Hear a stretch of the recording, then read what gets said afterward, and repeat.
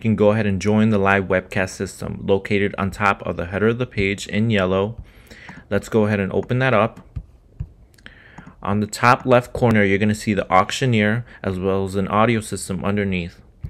Underneath that, you're going to be able to see all the lots that are taking place. It's in, every single one of these lots are going to have specific names such as live, sold, pause, and upcoming. It's, it's important to remember that every single one of these lots that say upcoming, you can place an auto bid. It's specifically only for these ones you'll be able to place an auto bid. So let's go ahead and pl let's place an auto bid for 50,000. All right, let's do one more. Let's place a bid for, let's say 80,000. All right. You're going to have your winning lots as well as your auto bids. And it's only going to show your specific ones. It's not going to show anyone else's. Towards the right, you're going to see the current live lot that's taken place. To see more details, just click on the details tab. It's going to show you all the information for that current live lot. You're going to be able to also scroll through images.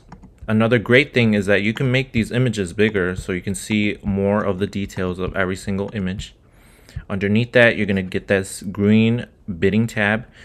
Above it, it's going to tell you if you're currently leading this bid or not. So let's go ahead and place a bid. See, as you can see, we're currently leading it. It is very important to remember also that you need to make your bids early before the time runs out because then you're going to get that going once, going twice, then fair, then after that, last, that's when it's going to be sold. Underneath that, you're going to have announcements from the auctioneer and winners will receive email confirmations on their winnings as well. It's important to also remember if you're on mobile, you can always access your lots on the bottom corner tab that says view lots. You'll be able to see all your lots there. You can close this up. If you have any issues or concerns or problems, you can always message us on our GChat located on the bottom left corner.